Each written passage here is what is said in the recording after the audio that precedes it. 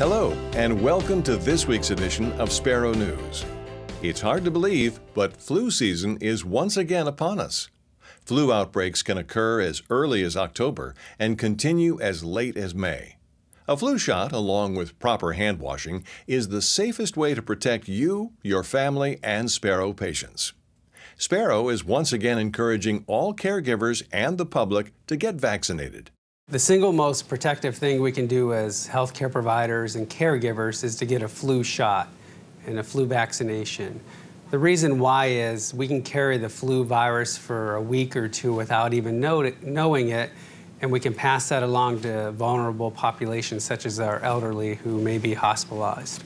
There will be multiple places, I believe in October, uh, beginning early October through the month of October to get flu shots. We've done fairly well in the past. Our goal this year is to vaccinate 90% or more of caregivers. Unless you've had a severe reaction to the actual flu vaccine in the past, we recommend all caregivers get the vaccination.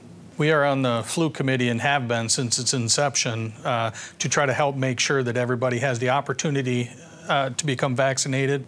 It protects yourself, your loved ones, and our patients here at Sparrow Hospital. We're uh, focusing greatly on floor champions who should be able to give their coworkers the flu shot as well as the roving carts, similar to what we've done in prior years. For more information about our free caregiver flu vaccinations, contact Employee Health Services at 517 364 2273. The annual Pediatric Memorial Service will be held in the Sparrow Hospital Auditorium at 6 p.m. Tuesday, October 2nd. Family members and caregivers are welcome to join us for a service to remember and honor young people who touched our lives, though their stay on earth may have been brief. Light refreshments will be provided after the service. The Pediatric Memorial Service is just one way Sparrow expresses its compassionate care toward the Mid Michigan region. Sparrow is proud to be a part of the Mid Michigan region. Be sure to check out this event coming up at Sparrow.